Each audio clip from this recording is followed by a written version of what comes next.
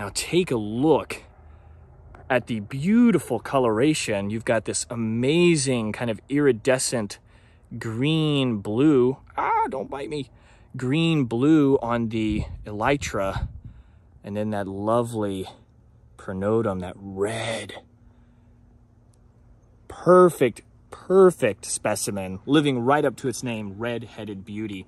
Now, these beetles are really interesting because there's not actually a lot known about them.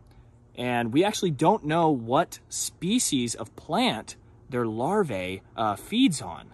Um, it's theorized that it's probably mesquite or acacia or something like that, uh, but the larvae of this species has never been recorded um, in a host, in a host species. So that's really special. But look at that. That is a beautiful Cerambycid. Now, Cerambycidae, those are the longhorn beetles, and you see where they get that name.